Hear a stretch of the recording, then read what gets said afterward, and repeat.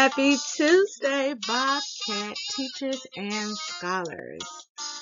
We are in for a terrific day of teaching and learning. Let's get started with the morning announcements.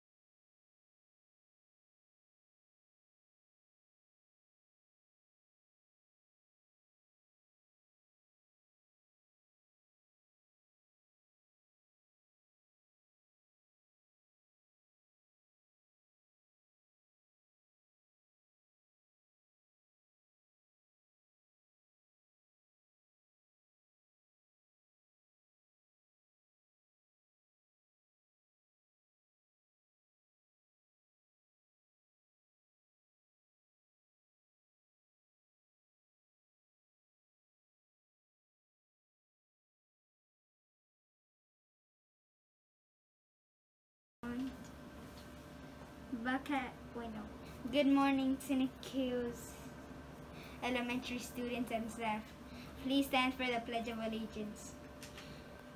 I pledge allegiance to the flag of the United States of America and to the republic for which I, it stands, one nation under God, indivisible, with liberty and justice for all.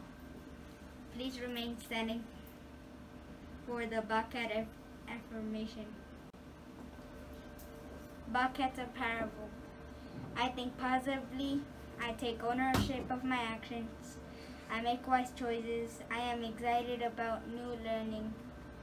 I will reach my goals. I will forgive others and myself.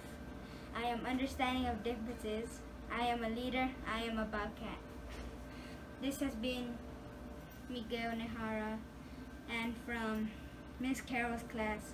Remember at Scenic Hills Elementary, every student counts and every moment matters. Stay tuned for the Bobcat broadcast. Now, every day, all of the Bobcats within our Scenic Hill School should strive to display our foundational values. In order to do this, you must think about the 3R approach, which is to be respectful, be responsible, and to always be ready to learn. Scholars, today we are going to review our hallway expectations to ensure that everyone understands our three school-wide rules and what they should look like in the hallway. So let's begin with being respectful. When you are being respectful in the hallway, you are respecting other students, your teachers, everyone's space in the hallway, and that is why you are to stand on your green squares. In addition, you are to follow the Hall's rules, the H A L L S rules. That means that your hands are to your side. Your eyes, all eyes are forward, lips are together. Low speed, that means you are walking and not running. And single file means you are standing directly behind the person that is in front of you. So once again, Halls is hands to your side, all eyes forward, lips together, low speed because you are walking, and single file as you are standing directly behind the person that is in front of you. To be responsible in the hallway means that you stand in the line and you keep your hands and your feet to yourself. In order to be ready, you do a silent wave. So if you see someone in the hallway, you don't you don't speak because remember our lips are together because we are on Bobcat Zone Zero. You wave, you smile. Yes, we can see that you are smiling with your eyes even when you have a mask on and you are to move quickly to your destination. So, scholars, in the hallway today, We expect for all scholars to be on Bobcat Zone Zero, to be respectful, responsible, and ready. And when you are following these three school-wide rules, your teacher should not have to talk to you in the hall. Remember, when you are in the hall at the restroom, there are classes who are trying to learn. If you are not following the rules, then your teacher has to speak to you, and that is disturbing classes where other scholars are trying to learn. And you know that every day we are building brilliant bobcats. So when your teacher has to talk to you in the hall, that is preventing other other scholars in the building from building their brilliance because they cannot hear what their teacher is saying because they are listening to your teacher having to tell you about the rules that you already know that you should be following. So today, all teachers will be handing out tallies for students that they have to talk to in the hallway because they should not have to talk to you in the hallway. We have been in school. Today is day 86. 86 days we have been practicing. Your teacher will be giving you a tally. Sometimes, if they have to talk to you more than once, they will give you two tallies in the hallway because you know the expectations and we expect for all of our Bobcats to follow the expectations in the hallway. Today's SEL moment will be on the zones of regulation. The zones of regulation uh, involve you thinking about how you're actually feeling today. And there are four zones the blue zone, the green zone, the yellow zone, and the red zone. In the blue zone, you kind of feel a little sad, sick, tired, bored. Uh, you're just kind of sluggish, moving kind of slow. That's the blue zone. So scholars, I want you to think about as I talk about these four zones where you fit in and at the end of the announcements, I want you to be sure to do a check-in, a SEL check-in with your teacher today, telling her how you feel. So that's the blue zone. You kind of feel blue, sad, the green zone is when you feel happy, you're calm, you're feeling okay, you're focused, you are ready to learn. We want to be in the green zone as much as possible because that's how you can make sure that you are ready. Ready to learn at every moment of the day. But sometimes you feel or you fall into this yellow zone. The yellow zone is when you feel frustrated, worried, silly, wiggly, just can't be still. You're so excited that sometimes you kind of lose control. That's the yellow zone. We want to try to, when we're in the yellow zone, we want to try to move ourselves back to the green zone where we're calm and feeling okay and we're focused and ready to learn.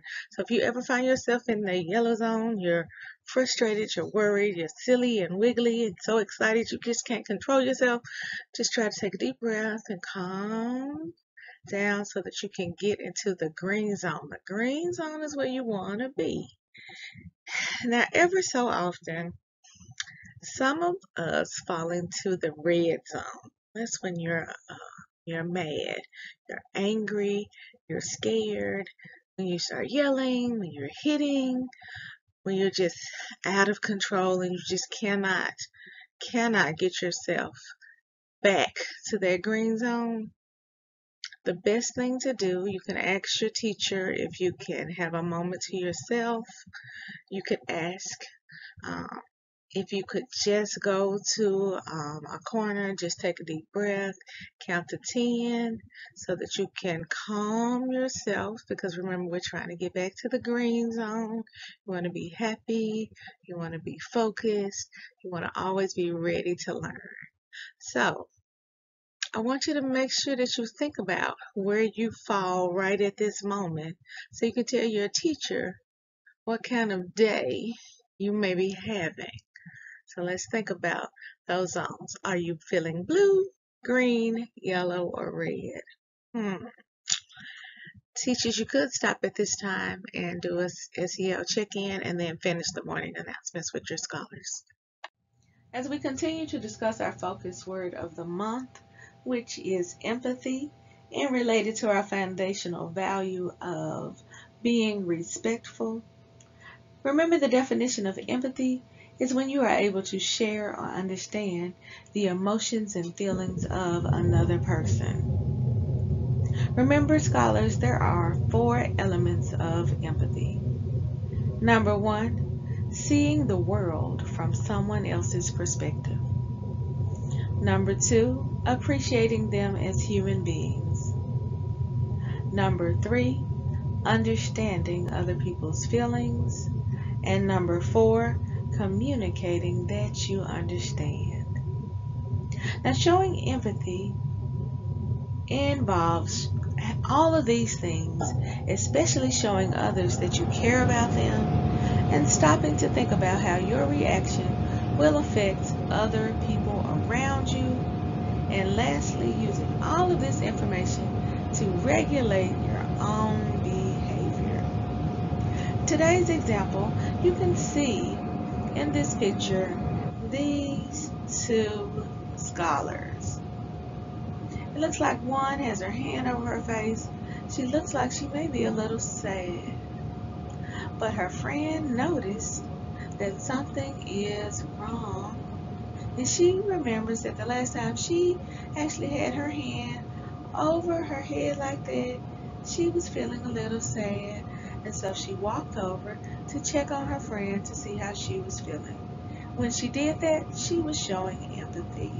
So make sure, scholars, that you are showing empathy to your classmates, checking on them when it looks like something is going on with them, because that's one of the ways that you can show our foundational value of being respectful. Today's classroom spotlight goes to our grade K scholars for doing an amazing job of showing our foundational values of being respectful, responsible, and ready to learn during math class on yesterday. Great job. Keep up the fantastic work.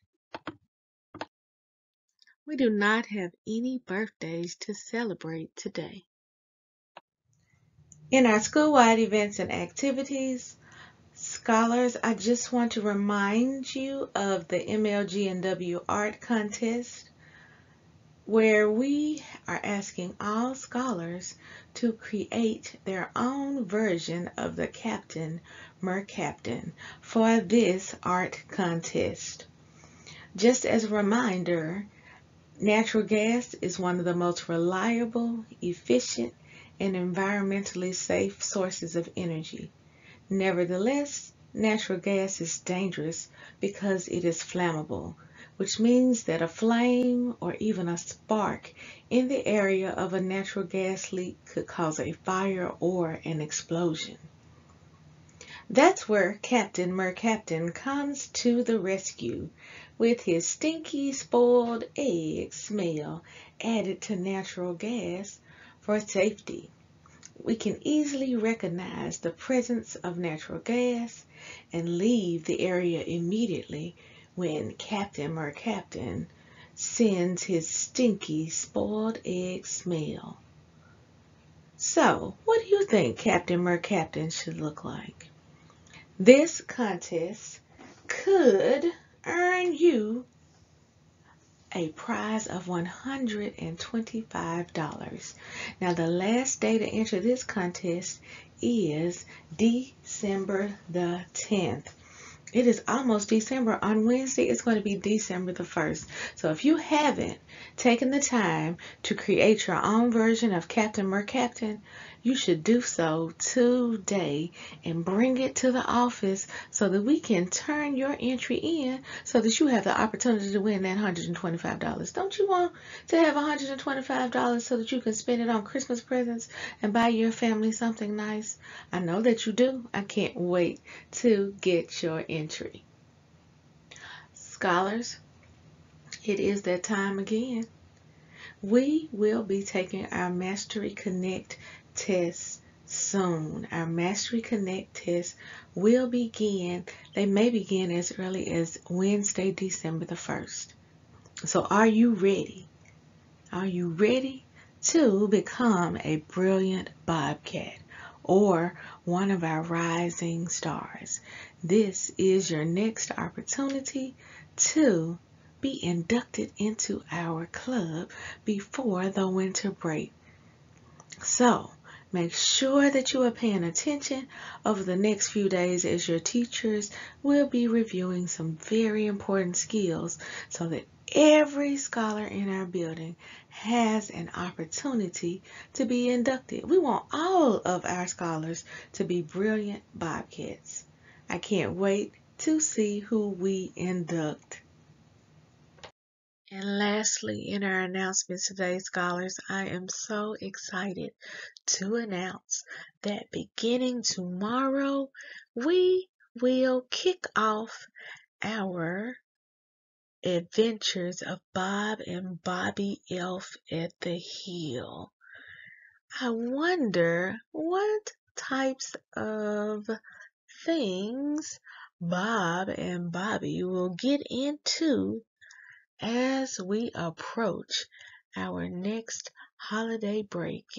So we're going to have the 12 days of Bob and Bobbie Elf. What do you think they're going to get into? We'll find out tomorrow. Stay tuned. Remember, every day we're building brilliant bobcats because we are raising the bar by believing in ourselves, achieving our goals, and reimagining our future. We will conclude our announcements with our victory roar. Say it with me. Together we must believe. Together we will achieve.